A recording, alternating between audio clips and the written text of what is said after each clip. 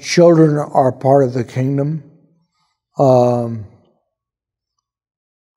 by paedo communion, I mean that when a child, when anyone is baptized, they become part of a new family.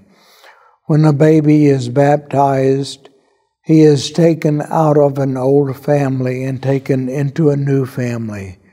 Uh, so, in a sense, the parents need to give the child to the pastor and say, you know, farewell, in a sense. Uh, and the, he's baptized, she or, he or she is baptized and given back to the parents to be brought up. And uh, so, as a member of the church, as a member of this new family, he's, he's part of this new meal He's given bread and wine as part of this new meal. He's not given bread and wine by mommy and daddy, as mommy and daddy are now part of the church, and so they give him bread and wine. No.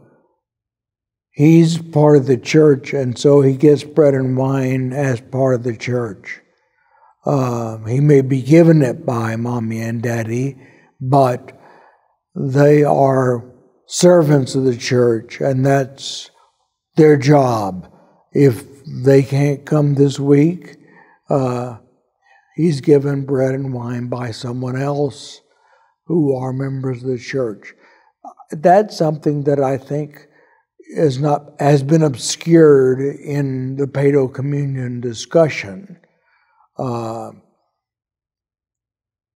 for a great many of us, our children are made members of the church, but they're still our children.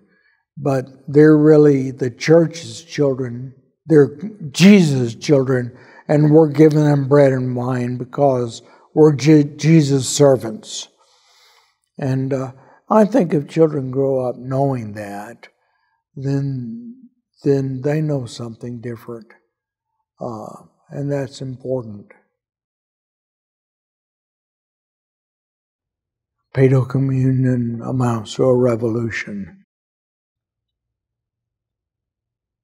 because it means that the church is a new kingdom, a new family in history uh, is not an old family that's been adjusted a little bit. It's a totally new family.